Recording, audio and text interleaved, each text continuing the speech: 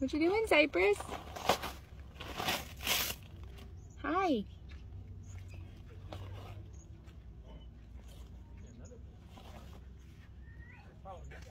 Well, perfect. She's getting her enrichment.